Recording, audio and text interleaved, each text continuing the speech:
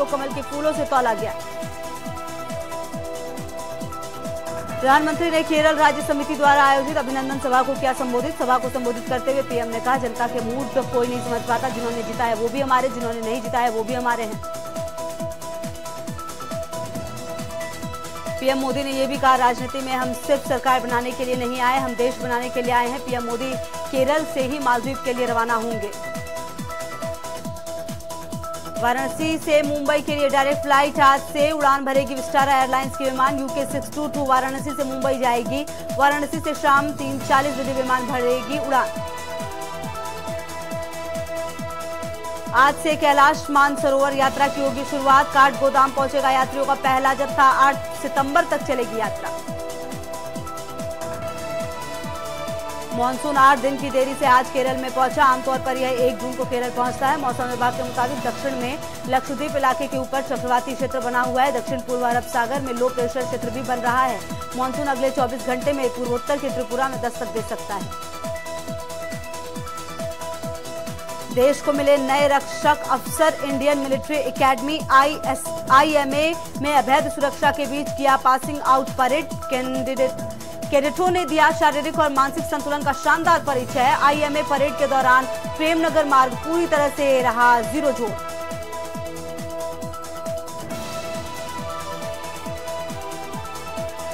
संभल में घनारी थाना क्षेत्र में रिश्तेदारी में आई युवती से रेप विरोध करने पर आरोपी ने पीड़िता युवती को बर्बरता से पीटा। गंभीर रूप से घायल युवती को लेकर परिजन थाना पहुँचे।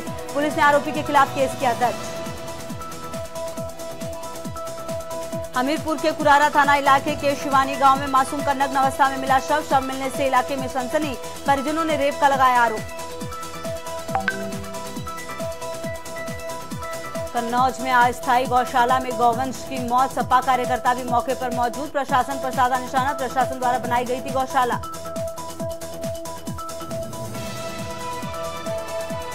मथुरा के थाना राया क्षेत्र के नुनेर गाँव में साड़ी के फंदे से लटकती हुई मिली वृद्ध महिला की लाश। सूचना पर पहुँची पुलिस, पूरे मामले की जाँच में जुटी। अलीगढ़ के टप्पल इलाके में दो दिन पहले बच्ची के साथ दुष्कर्म और फिर हत्या को लेकर पूरे देश में हो रहा प्रदर्शन। वही आरोपियों को फांसी देने की मांग को लेकर नोएडा के लोगों ने कैंडल मार्च निकाला। कैंडल मार्च नोएडा के सदरपुर के आम्रपाली सफ़ाई से शुरू होकर सेक्टर चौवालीस टेलर ग्रीन पार्क पर आकर समाप्त हुआ।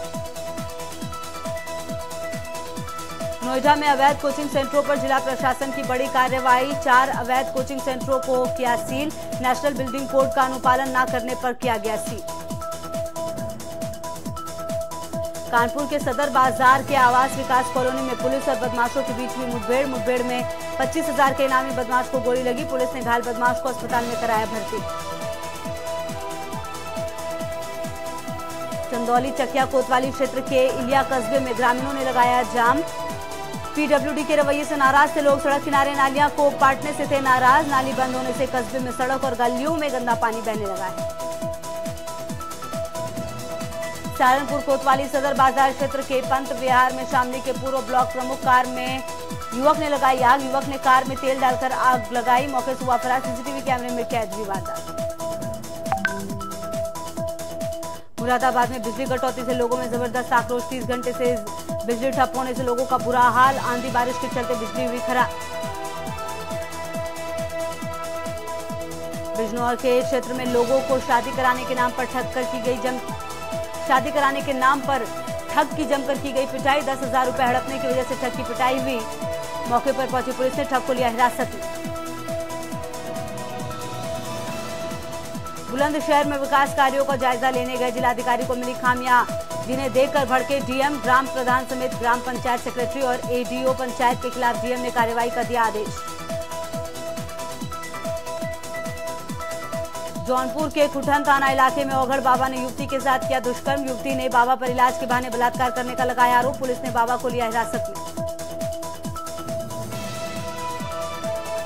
एटा के सांसद ने कासगंज जनपद में रोड शो किया। इस दौरान उनके रोड शो में सदर विधायक, अंबापुर विधायक, जिलाध्यक्ष के साथ साथ पार्टी के सैकड़ों कार्यकर्ता रहे। मौजूद जनता ने सांसद का किया जोरदार स्वागत।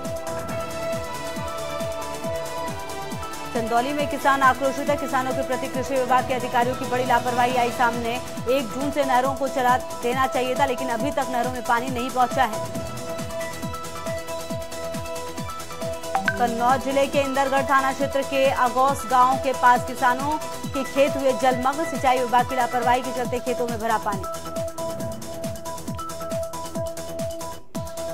बागपत जनपद में देर शाम, देर रात थाना चांदी नगर पुलिस और मेरठ एसटीएफ की टीम ने बदमाशों के साथ मुठभेड़, जिसमें एक लाख के इनामी बदमाश और उसके साथी की एनकाउंटर के दौरान गोली लगी, जिन्हें जिला अस्पताल में कराया गया भर्ती।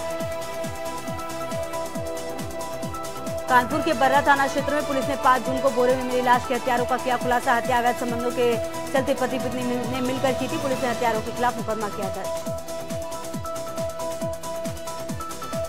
कानपुर के बर्रा थाना क्षेत्र के हरदेव नगर में पुलिस के सामने महिलाओं ने जमकर की मारपीट और पुलिस बनी रही मूक दर्शक।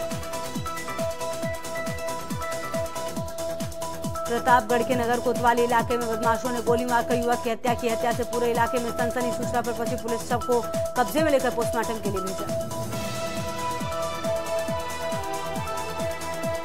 हरदोई में खेतों से लेकर सड़क तक आवारा जानवरों का है कब्जा। आवारा जानवरों को नहीं मिल रही आवारा जानवरों से नहीं मिल रही निजात हाईवे पर घूम रहे आवारा जानवर, बन रहे हादसों का सबब। खेतों में फ़सलों को उजाड़ रहे जानवरों के झुंड। डीएम ने दो गौशालाओं के निरीक्षण का दिया निर्देश। दो दिन में गौशालाओं से जानवरों की संख्या बढ़ाने के निर्देश। छत्तीस गौशालाओं को दो दिन में परिपूर्ण करने का आदेश।